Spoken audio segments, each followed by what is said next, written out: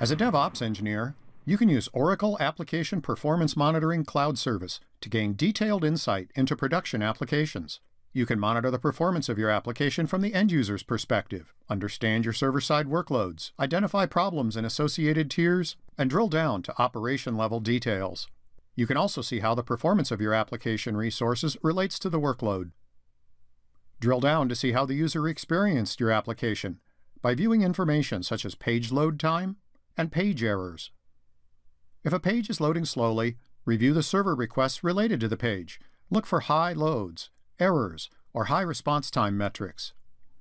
If server requests are abnormally slow, you can also examine memory usage and garbage collection. Modern web applications regularly leverage AJAX to deliver a dynamic user experience. Examine the AJAX calls to ensure that the average response breakdown time and errors are within acceptable limits. Examine a specific server request and drill down to see its response time, calls, and errors. Diagnose code level issues and see the performance of operations over time. Drill into specific instances to see an instance of operations that was slow or failing.